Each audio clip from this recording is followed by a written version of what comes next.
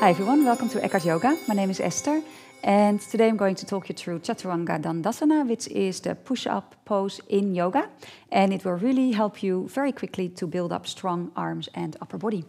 So um, I'll talk you through progression. So you start as a beginner and then you work your way up to a more advanced way of doing it. So let's start on hands and knees. Spread your fingers, line the creases of the wrists up with the front of the mat. Bring your knees a little back and then pull the front of the body into the back of the body. So lower ribs pull in, belly pulls in, so the back is flat. You also keep your arm bones moving to the back plane of the body, but you do also push the space between the shoulder blades up, so it's a lot at once. And then keeping all that, bring your weight forward, bend your elbows, so your shoulders end up right above your elbows, and then you push back up. So that's one okay, with the knees down. So that's the easiest version. Now, if you start, you can go as low as you've got control. So maybe this is way too far in the beginning, okay? So once you master that, then you can do the same thing with one leg extended out behind you. So one knee on the floor, one knee off the floor.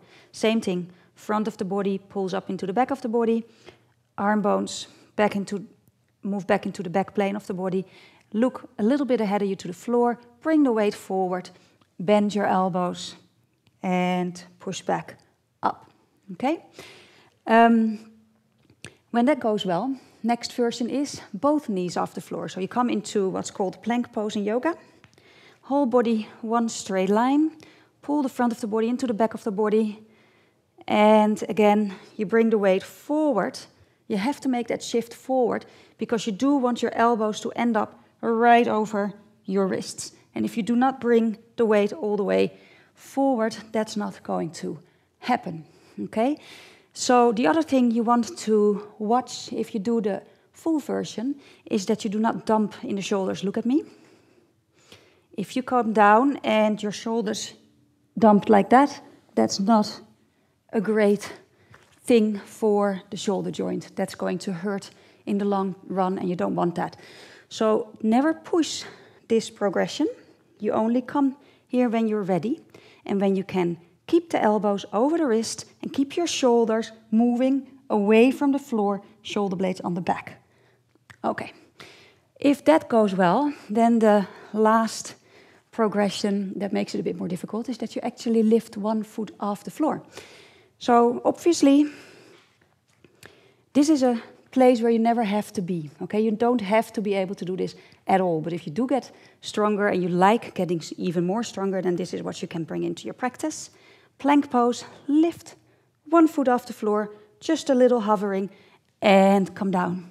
And from there, push back up, or come down, and from there, take it up into an up dog position.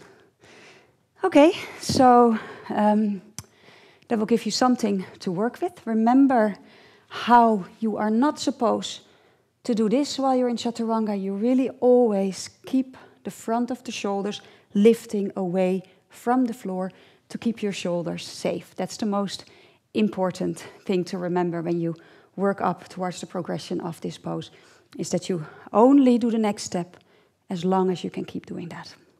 Thank you for joining me. Hope this was helpful and have fun on the road to getting stronger. Namaste.